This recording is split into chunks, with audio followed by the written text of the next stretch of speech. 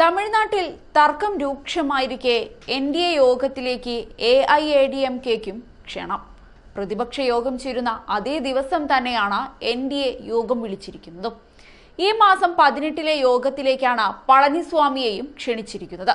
B J P Tamil Nadu ഘടകവുമായി ഭിന്നത രൂക്ഷമായതിനിടെയാണ് ഈ ക്ഷണം. സഖ്യത്തിൽ തീരുമാനം പിന്നീട് പറയാമെന്നാണ് പളനിസ്വാമി കഴിഞ്ഞയാഴ്ച പറഞ്ഞിരുന്നത്. അതിനിടെയാണ് എൻ ഡി എയുടെ ഈ പുതിയ നീക്കം. തമിഴ്നാട്ടിൽ കുറെ കാലമായി സഖ്യത്തിൽ തർക്കം നീണ്ടു നിൽക്കുകയാണ്.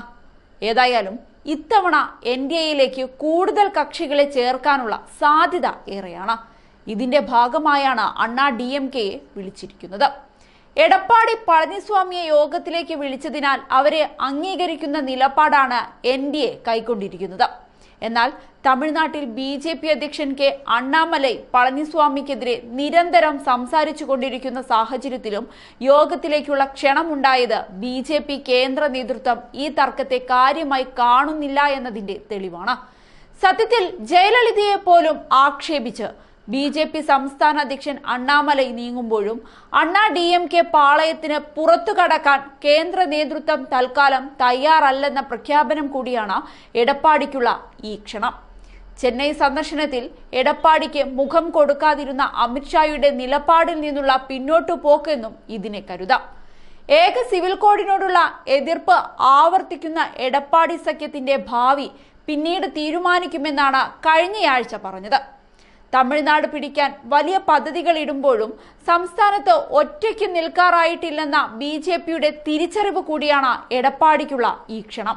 പ്രതിപക്ഷ യോഗം പതിനെട്ടിന് തന്നെ ചേരുന്ന സാഹചര്യത്തിൽ കൂടുതൽ പാർട്ടികളെ ഒപ്പം നിർത്താനും എൻ ഡി എ ശക്തിപ്പെടുത്താനുമുള്ള ബി ജെ പി തന്ത്രവും ഇവിടെ വ്യക്തമാണ്.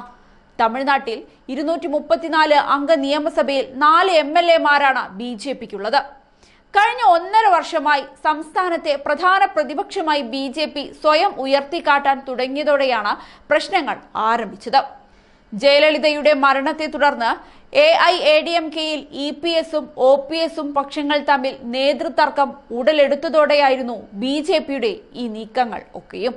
അതേസമയം ലോക്സഭാ തിരഞ്ഞെടുപ്പിൽ തമിഴ്നാട്ടിൽ നിന്ന് നരേന്ദ്രമോദി മത്സരിക്കുമെന്ന അഭ്യൂഹവും ശക്തമാണ്. കന്യാകുമാരിയോ കോയമ്പത്തൂരോ മോദി മത്സരിക്കുമെന്നാണ് പ്രചാരണം. ഇതിനിടയിൽ തമിഴ്നാട്ടിൽ മറ്റു ചില കാര്യങ്ങൾ കൂടി നടക്കുന്നുണ്ട്. ഗവർണർ ആർ എൻ രവിക്കെതിരെ ശക്തമായ നീക്കവുമായി തമിഴ്നാട് മുഖ്യമന്ത്രി എം കെ സ്റ്റാലിൻ രംഗത്ത് വന്നിരിക്കുകയാണ്. ആർ എൻ രവിക്കെതിരെ എം കെ സ്റ്റാലിൻ രാഷ്ട്രപതി ദ്രൗപതി മുർമുവിന് കത്തയച്ചതായി സംസ്ഥാന സർക്കാർ പ്രസ്താവനയിൽ അറിയിച്ചു.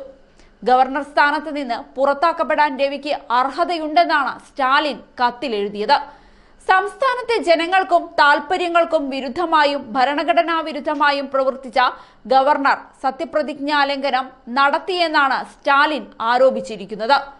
പ്രതിപക്ഷം ഭരിക്കുന്ന സംസ്ഥാന സർക്കാരിനെ താഴെയിറക്കാൻ അവസരം തേടുന്ന ഒരു ഗവർണറെ കേന്ദ്രത്തിന്റെ ഏജന്റായി മാത്രമേ കാണൂ എന്നും ഭരണകക്ഷിയായ ഡി എം കെയുമായി ഗവർണർ രാഷ്ട്രീയ യുദ്ധമാണ് നടത്തുന്നതെന്നും രവി സംസ്ഥാന സർക്കാരിന്റെ നയത്തിന് വിരുദ്ധമായി പ്രവർത്തിക്കുന്നുവെന്നുമാണ് സ്റ്റാലിൻ തുറന്നടിച്ചിരിക്കുന്നത്. ഗവർണർ ആളുകളുടെ വികാരത്തെ വ്രണപ്പെടുത്തുന്നുവെന്നും സംസ്ഥാനത്തിന്റെ പേര് മാറ്റാനുള്ള അദ്ദേഹത്തിന്റെ നിർദ്ദേശം തമിഴ്നാടിനോടുള്ള അദ്ദേഹത്തിന്റെ വെറുപ്പാണ് വെളിപ്പെടുത്തുന്നതെന്നും സ്റ്റാലിൻ രവിക്കെതിരെ തുറന്നടിച്ചുകൊണ്ട് പറഞ്ഞു. ഗവർണറെ പൂട്ടാനുള്ള എല്ലാവിധ നടപടിയുമായി മുന്നോട്ടു പോവുകയാണ് സ്റ്റാലിൻ.